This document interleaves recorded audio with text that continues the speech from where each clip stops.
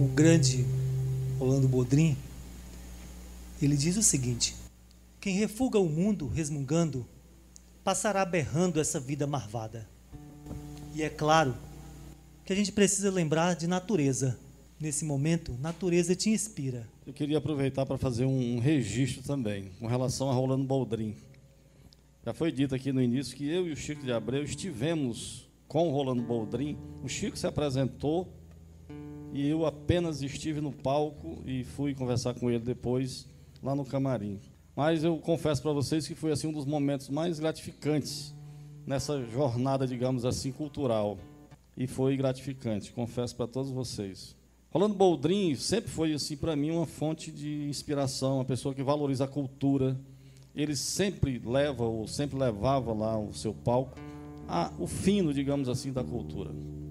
E ele costumava dizer o seguinte, que depois de Deus é a terra, o ente que eu mais adoro, para plantar a semente neste chão da onde moro.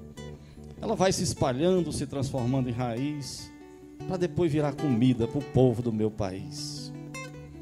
Nessa pegada do Rolando Boldrin, um dia eu ia daqui para as queimadas, lugar onde eu nasci, e percebi que eu não tinha feito nada ainda com relação ao efeito de plantar uma árvore.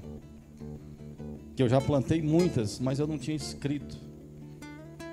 Plante uma árvore que vem o passarinho. Quem sabe faz um ninho para se multiplicar. Plante uma árvore, escute o passarinho que canta alegre, sorrindo, quando tem onde pousar. Plante uma árvore, esfrie nosso planeta. Afaste a fumaça preta, melhore o nosso ar.